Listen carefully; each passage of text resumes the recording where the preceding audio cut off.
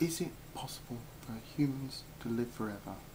It's a question which is often asked, but what would really be needed for this to happen, and is it ever going to be likely? Well, currently the human body is, in ideal conditions, able to live for about 120 years. It's possible in the future that more people are going to make it to this mark. However, it's still likely to be a tiny minority with lots of barriers about reaching this age. Pushing the body beyond 120 years towards immortality is going to be difficult, if not impossible. In order to clarify the situation, we're going through some of the major issues involved. Firstly, it's always going to be accidents and incidents that cause life to end, from lightning strikes to earthquakes to car accidents.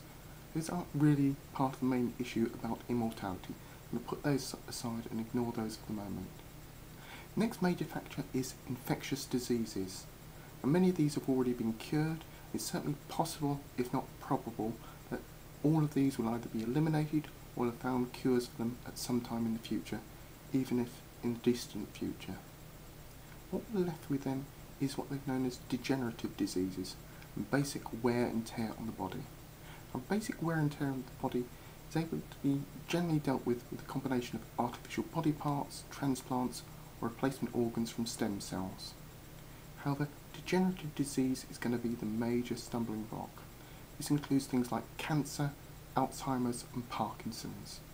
Precise reasons why cells in general deteriorate as we age isn't really known, but whether it's an accumulation of environmental damage or pre-programmed lifespan, but the most common theory is that cells build up toxins that they can't dispose of.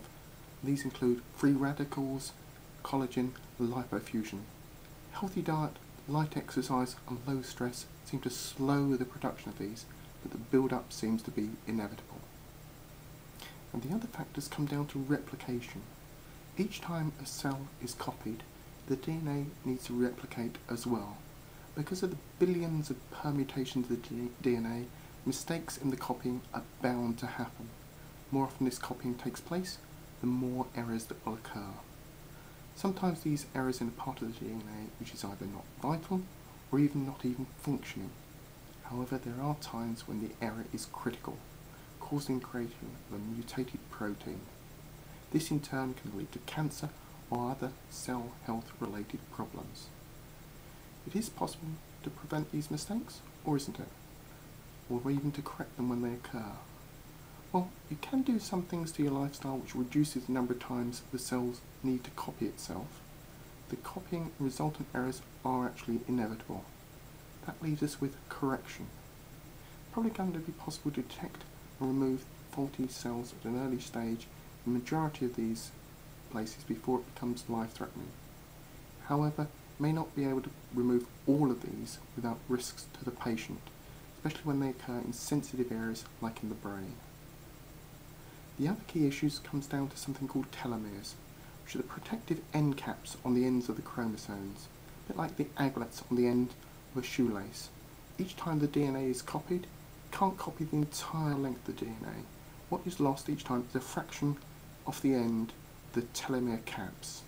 The pr process happens too often, the telomeres are lost completely, then the DNA itself isn't copied, which can cause the cancer and other diseases related to faulty DNA.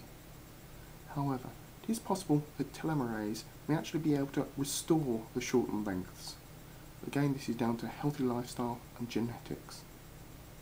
What this leaves us with as a whole is whether it's cell age or cell replication, the body is going to age.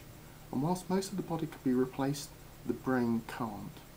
So it may be possible for someone to be born today to live to 150 or roundabouts, but it will involve extensive medical processes towards the end of the life.